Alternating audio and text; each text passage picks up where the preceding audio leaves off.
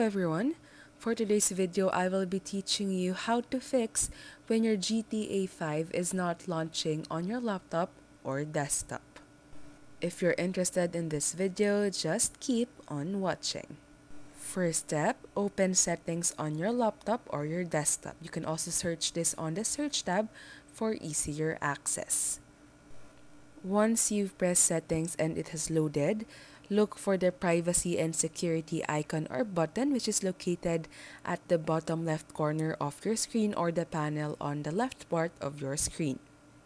Under privacy and security, look for Windows security and if we have the same windows, it's usually on the topmost part of your screen.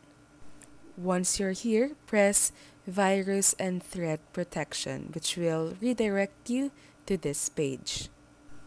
Here, go under Virus and Threat Protection Settings where you'll see the Manage Settings button which is color blue.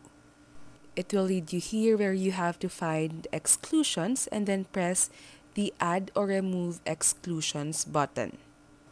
Then press Add an Exclusion and then press Folder or Files. This files or prompt will appear where you have to go to this PC and then press Windows SSD. Once you press this, what you have to do is look for the Rockstar Games folder. But for easier access or location, you can also search it on the search tab.